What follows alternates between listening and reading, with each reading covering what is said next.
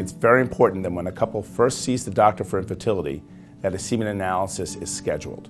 40% of cases of infertility are due to problems in the male, particularly in the sperm, morphology, motility, or concentration.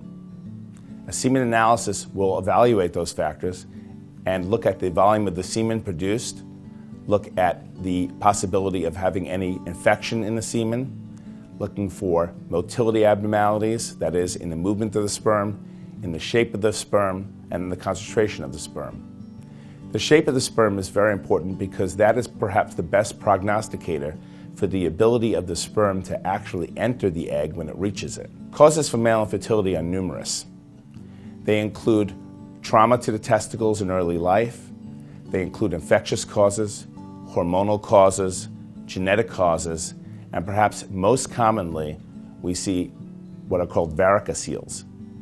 And a varicocele is an abnormality in the drainage of the blood from the testicles back up into the main vein blood supply of the body.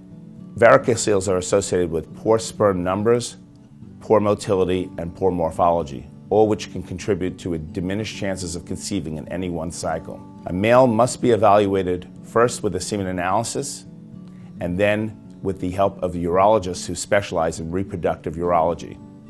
In some cases, specifically if there is a varicocele, surgery can be done to repair the varicocele and improve sperm parameters. In other cases, hormone treatments can be used to enhance sperm counts and enhance sperm motility. So, reproductive endocrinologists work very closely with urologists in order to help the couple achieve pregnancy.